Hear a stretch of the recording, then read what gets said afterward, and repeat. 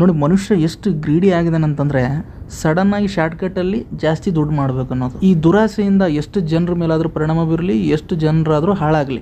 ಒಟ್ಟಿನಲ್ಲಿ ನಮ್ಮ ಅಸ್ತಿತ್ವ ಉಳಿಬೇಕು, ನಮ್ಮದು ದೊಡ್ಡದಾಗಬೇಕು, ನಮ್ಮದು ಎತ್ತರ ಆಗಬೇಕು ಅಂತಕ್ಕಂಥದ್ದು. ಸೊ ಇದರಿಂದ ಎಷ್ಟೊಂದು ಕಂಪನಿಗಳು ತಮ್ಮ ಫುಡ್ ಪ್ರಾಡಕ್ಟ್ಸ್ಗಳಲ್ಲಿ ತಮ್ಮ ಲಾಭಕ್ಕಾಗಿ ಕ್ವಾಂಟಿಟಿ ಜಾಸ್ತಿ ಮಾಡೋಗೋಸ್ಕರ, ಕಡಿಮೆ ಬೆಲೆಯಲ್ಲಿ ಕೊಡೋಗೋಸ್ಕರ ಮತ್ತೆ ಸೇಲ್ಸ್ ಜಾಸ್ತಿ ಆಗಬೇಕು ಅನ್ನೋಗೋಸ್ಕರ ಈ ಕಲಬೆರಕೆ ಅನ್ನೋದು ಮಾಡ್ತಿದ್ದಾರೆ ಅಡಲ್ಟರೇಷನ್ ಮಾಡ್ತಿದ್ದಾರೆ. ಸೊ ಇದರಿಂದ ಎಲ್ಲರ ಆರೋಗ್ಯನೂ ಕೆಡ್ತದೆ.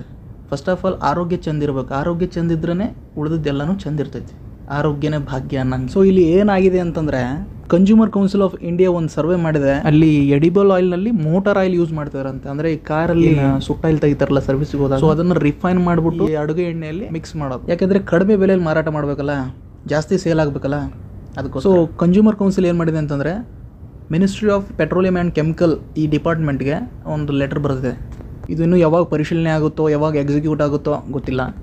ಈ ಸರ್ವೆ ಪ್ರಕಾರ ಮದ್ರಾಸಲ್ಲಿ ನಲವತ್ತು ಸರ್ವಿಸ್ ಸ್ಟೇಷನ್ಗಳಲ್ಲಿ ಸರ್ವೆ ಮಾಡಿದರೆ ಎರಡು ಸಾವಿರದ ಐದುನೂರು ಲೀಟರ್ ಪರ್ ಡೇ ಸೇಲ್ ಆಗ್ತಿದೆ ಅಂತ ಈ ಸುಟ್ಟಾಯಿಲು ಬೆಂಗಳೂರಲ್ಲಿ ಹದಿನೈದು ಸರ್ವಿಸ್ ಸ್ಟೇಷನ್ಗಳಲ್ಲಿ ಸರ್ವೆ ಮಾಡಿದರಂತೆ ಸಾವಿರ ಲೀಟರ್ ಸುಟ್ಟಾಯಿಲು ಸೇಲ್ ಆಗ್ತಿದೆ ಅಂತೆ ಕಲ್ಕತ್ತಾದಲ್ಲಿ ಐವತ್ತು ಸರ್ವಿಸ್ ಸ್ಟೇಷನ್ಗಳಲ್ಲಿ ಸರ್ವೆ ಮಾಡಿದರಂತೆ ನಾಲ್ಕು ಸಾವಿರ ಲೀಟರ್ ಪರ್ ಡೇ ಸುಟ್ಟಾಯಿಲು ಸೇಲ್ ಆಗ್ತಿದೆ ಅಂತೆ ಈ ಅಡಿಗೆ ಎಣ್ಣೆಯಲ್ಲಿ ಮಿಕ್ಸ್ ಮಾಡೋಕೋಸ್ಕರ. ಈ ತರ ಕಲಬೆರಕೆ ಮಾಡೋದಕ್ಕಿಂತ ಇನ್ನ ಬೆಲೆ ಏರಿಸಿದ್ರೆ ಪರವಾಗಿಲ್ಲ, ಆದ್ರೆ ಈ ತರ ಕಲಬೆರಕೆ ಮಾಡಬಾರದು. ಇದು ಪಾಪ ಬಡವ್ರ ಮೇಲೆ ಮಿಡ್ಲ್ ಕ್ಲಾಸ್ ಜನರ ಮೇಲೆ ಜಾಸ್ತಿ ಪರಿಣಾಮ ಬೀರ್ತದೆ. ಯಾಕಂದ್ರೆ ಅನಿವಾರ್ಯ ತಗೊಳ್ಳೇಬೇಕು. ಇವನ್ ಕಲಬೆರಕೆ ಇದೆ ಅಂತ ಗೊತ್ತಿದ್ರು ಕೂಡ ತಗೊಳ್ತಾರೆ. ನೀವು ಒಳ್ಳೆ ಬ್ರ್ಯಾಂಡು, ಒಳ್ಳೆ ಅಡುಗೆ ಆಯಿಲ್ ತಗೋಬೇಕು ಅಂತಂದ್ರೆ ಕಾಸ್ಟ್ಲಿ ಐತೆ ಹೀಗಾಗಿ ನಾನು ಏನು ಹೇಳೋದು ಅಂತಂದ್ರೆ, ಕಸ ತಿನ್ನೋದಕ್ಕಿಂತ ತುಸು ತಿನ್ನು ಅಂತ ದೊಡ್ಡವರು ಹೇಳ್ದಂಗೆ ಸ್ವಲ್ಪ ಪ್ರಮಾಣದಲ್ಲಿ ತಿಂದರೂ ಪರವಾಗಿಲ್ಲ. ಸ್ವಲ್ಪ ಪ್ರಮಾಣದಲ್ಲಿ ಖರೀದಿ ಮಾಡಿದ್ರೂ ಪರವಾಗಿಲ್ಲ.